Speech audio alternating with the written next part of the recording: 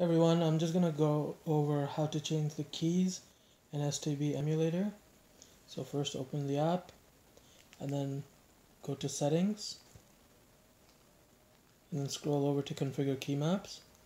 So while you're in this UI, you want to press and hold the middle button at the same time. While you're holding the middle button, scroll down with this button to the key that you want to modify and then you let go of the middle OK button. So as an example, so make sure you're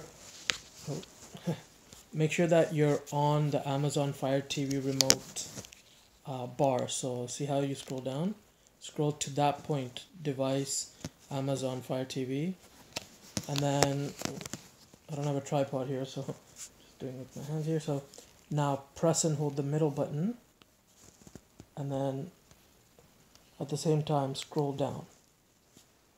So press and hold, scroll down to the button that you want to change, and then let go of the middle button. Now it opens up.